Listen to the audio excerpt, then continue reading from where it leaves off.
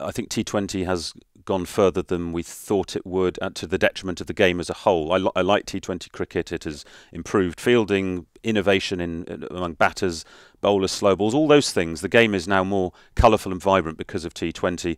It has helped financially. There is there is no doubt about any of that.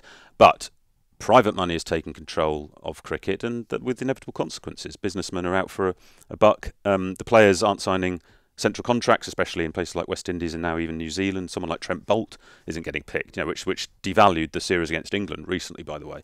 Now you may say this is the market speaking, a lot of people do say that. I say the market's skewed, and the market has been allowed to be skewed by administrators who haven't pushed Test cricket and have allowed private money to come in and take over uh, international boards.